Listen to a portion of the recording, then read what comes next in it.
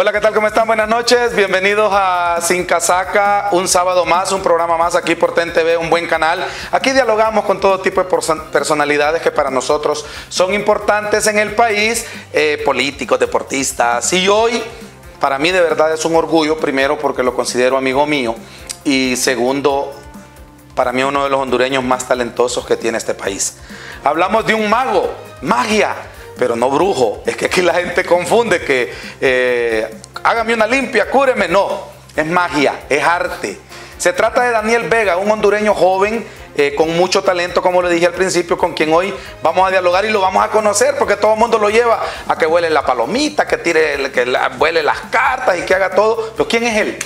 Nunca hay tiempo para hablar tanto de las personas. Dani, ¿cómo Alex, Feliz. Porque ya me tenés sudando, ya me tenés sudando y hemos empezado. Sí. Contame, Daniel, ¿cómo estás? No, fantástico, alegre de estar aquí. Por fin se hizo, ¿ah? por fin se hizo. Ya, ya día estamos con esto y aquí estoy. Me dijo mi hijo si podía eh, hacer magia y que le, le apareciera un Play 5. Dos, si quieres. No sé cuál es ese. Vos se lo puedes hacer aparecer, pero soltando la plata. Las 10.500 bolas que dice que cuesta Daniel. Contame, ¿qué de tu vida de dónde sos, cómo surge esto, tu niñez, cómo fue. Sería bueno conocerlo, como te digo, porque te he visto en miles de programas, pero nunca hay tiempo para hablar de la persona. Sí, fíjate, siempre se, como que dice, vamos al grano, vamos a la magia, ¿no? Pero muy pocas veces me preguntan ese tipo de cosas. Yo soy de aquí, de Tegucigalpa, y la verdad es que mi niñez fue una niñez bastante normal, ¿no? No, no te voy a decir de que que estuve ahí escalando y que no tenía para comer, ¿no? La verdad es que he sido bastante bendecido. Eh, claro, vengo de una familia que pues ha sabido el valor del trabajo, que poco a poco han ido escalando.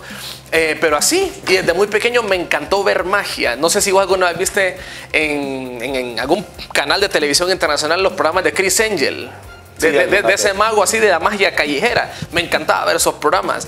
Aquí en Honduras, pues la magia no se da mucho. Ahorita está agarrando un poco más de fuerza, pero en mi, cuando yo era pequeño eran más las payasitas en las fiestas, ya hacían sus cositas y me, me fascinaba verlas.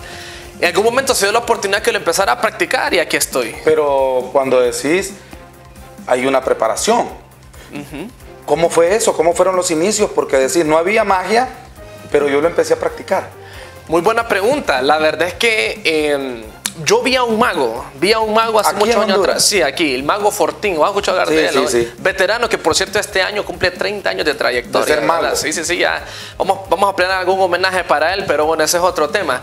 El caso es de que yo lo vi a él y me hizo recordar que cuando yo era niño, yo dije, yo hacía algo ahí por ahí que compré en algún súper o algo que me compró mi mamá y comencé a investigar qué es lo que los magos utilizaban para hacer sus shows.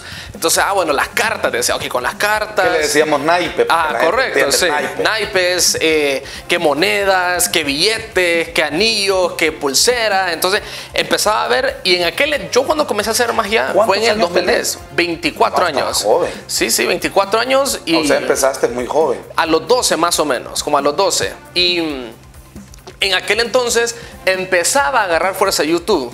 Eh, venía comenzando, era muy poco, eh, pero ya había algo. Entonces ahí con lo que encontraba me ponía a ver videos y ya bueno, fui adquiriendo más material profesional de los magos y más y más y más material. Y años después comencé a ir a la Academia de Magia en Estados Unidos. Estuve ah, yendo por cinco años ahí y después me convertí en, profesor de la academia y aquí ya estamos. espérame. Vamos corriendo, ¿ah? No, no, no, no, no, no, no, es que vamos corriendo. Al grano. no, lo que me llama la atención, Daniel, cuando decís estuviste por cinco años, ¿cinco años duró para que vos te prepararas o son cursos? ¿O cómo es la de eso? ¿Vos alguna vez viste la película de Harry Potter? La verdad no me gusta, no le vi. Pero, pero entendemos sí, la temática, ¿no? Sí, yo, tampoco soy muy fan, aunque muchos creerían que sí, pero no. Eh, básicamente, vos, Harry viaja a una escuela de magia y ahí, pues es lo mismo. Es lo mismo porque ahí vos vas, ahí dormís, ahí comes, ahí estás en medio.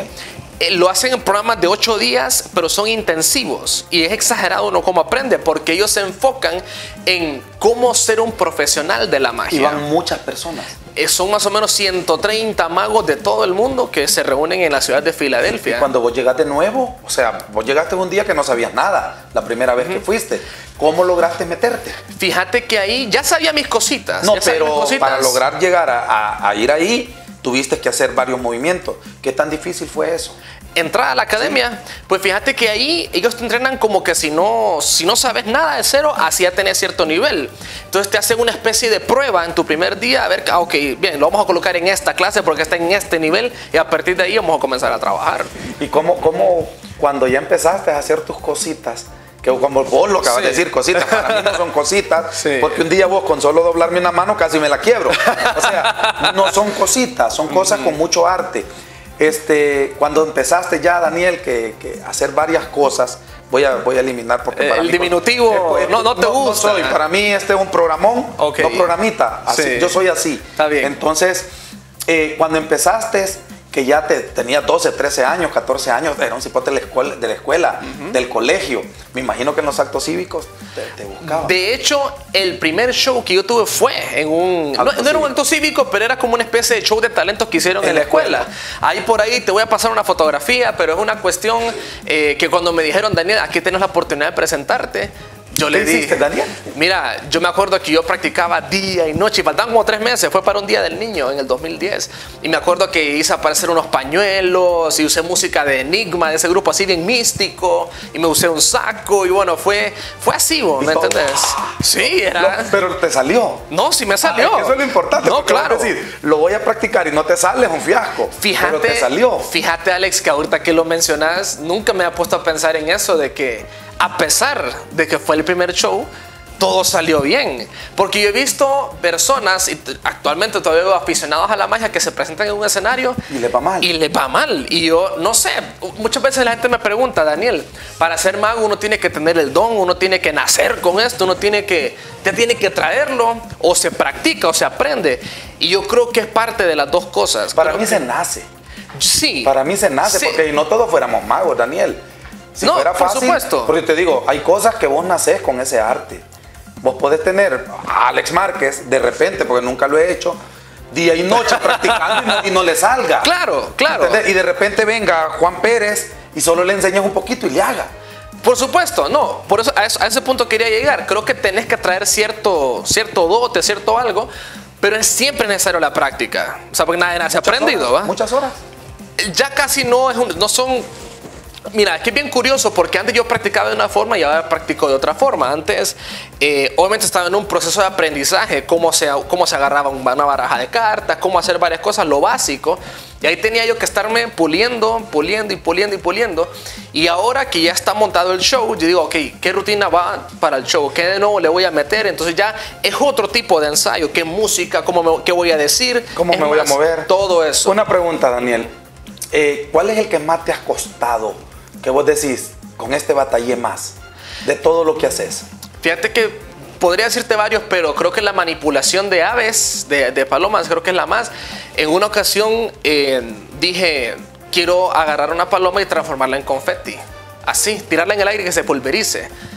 Y, fue, y costó, pero lo hice. Y lo estuve haciendo un par de veces. No lo hago siempre, pero ya es algo que quedó, quedó ahí. Son cosas que pero te costó. Claro, eso en una ocasión.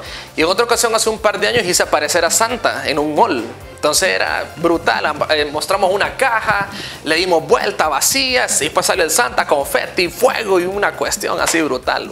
Los nervios estaban al mil. Yo, yo, me acuerdo, yo te conocí a vos en un programa de talentos eh, ¿cómo se llamaba? Un, programa de un canal donde yo trabajaba.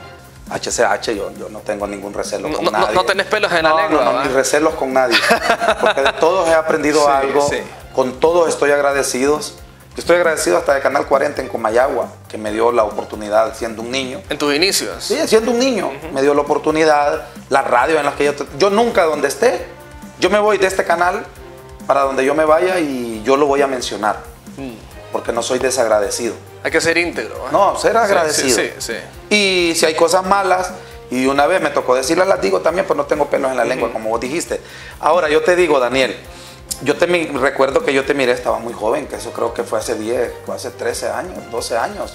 Eh, cuando hiciste un mall, que era un programa de que rifaban un carro Ahí me acuerdo que yo te... Yo te sí, eso tuvo que haber sido ya como por el 2015. Sí, ya, no, mucho, mucho, ya días, o sea, fue ya días. Sí. 2014, no, 2013. Sí. 2013, porque en el 2014 fue el Mundial y eso fue antes del Mundial.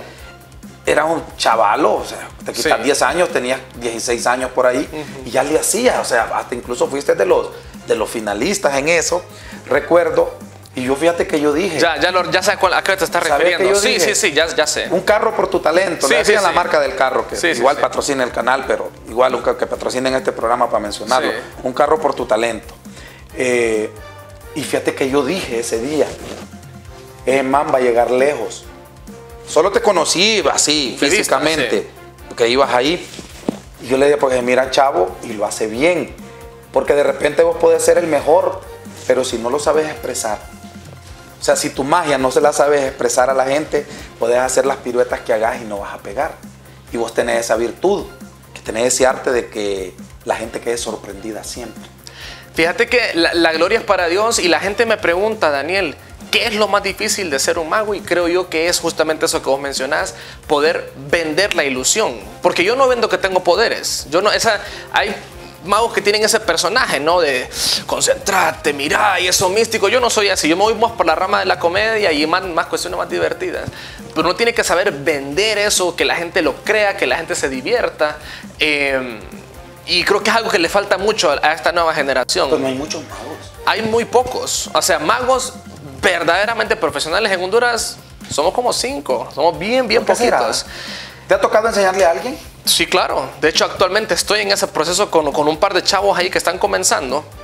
Y muy buena tu pregunta. ¿Por qué en Honduras no hay más magos? Y la respuesta es muy simple. El gremio de la magia en Honduras es el gremio más egoísta que hay en el país. Más que el que vos me quieras mencionar, futbolistas, músicos, nadie. Los magos Pero, son así. O sea, tu show, tu show es un show eh, vendible. O sea, vos cobrás por ir a hacer magia donde vayas. Sí. Entonces, país tiene 9 millones. O sea, tampoco es que se le vas a quitar el trabajo a nadie. Correcto, no. Eso por un lado, Alex. Eso por un lado. Y por otro lado es que según la teoría del marketing, al haber mayor oferta, hay una mayor demanda. Claro. Hay gente que ni sabe que hay magos en Honduras. Mientras que a mí ha sido una especie de reto el decirle a la gente. Sí, porque vos me decís a mí, eh, mencioname un mago, mago de Honduras, yo solo te conozco a vos. y eso le pasa, no creas que solo a mí, sino a los otros también.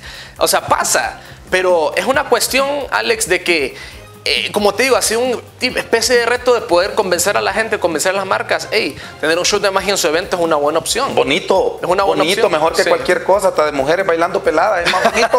es que yo te lo digo, yo te A lo digo. directo, ¿ah? No, porque es que es la verdad. Sí. Vamos a hacer una Sí, pausa. vamos. Vos sabés cómo es esto. Vamos a hacer una breve pausa comercial, señores, no nos cambien, nosotros ya volvemos.